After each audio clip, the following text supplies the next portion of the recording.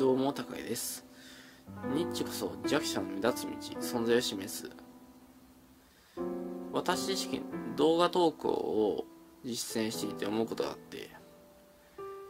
ニッチな分野強者の少ないっていう分野に動画を投稿していくってことをやってるんですけど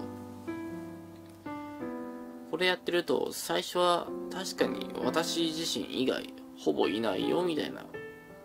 そういう環境に投稿してるから私の動画って上に上がって上がっていきやすいんですよ。ただそれ最初だけね。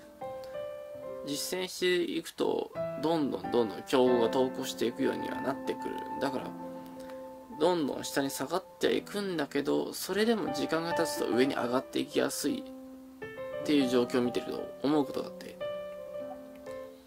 くらビデオカメラのスペック画質だとか音質が良かろうが編集ソフトで「あ」とか「えー」「うーん」とかそういう風に言ってるところをカットしてくっつけて綺麗に喋ってるように見せようが。結局は喋り手の話のうまさっていうのが勝ってしまうんじゃないかなっていう風に思った。だからこそ今のうちから動画を投稿し続けて話し続けていく。でうまい話し方は何なのかって考えて喋っていくと自然と上手くなっていくからこういう方のノウハウも重要なんだけど今から実践し続けてどんどんどんどん喋り方上手くなりましょうね。チャンネル登録お願いします。画面の右上のボタンを押してください。それでは。